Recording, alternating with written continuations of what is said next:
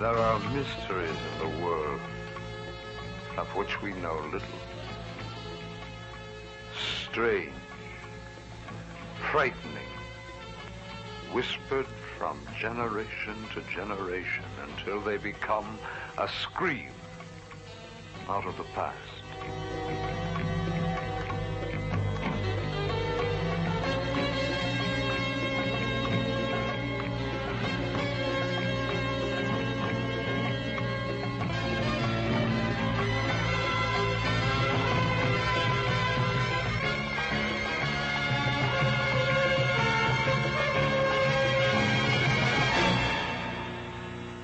Woman of flesh becomes a mistress of the Death Master, sharing his hunger for souls, his thirst for human blood.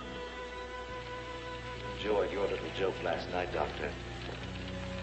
But as you can see, tonight is mine. Incredible. You really are a vampire? Yes.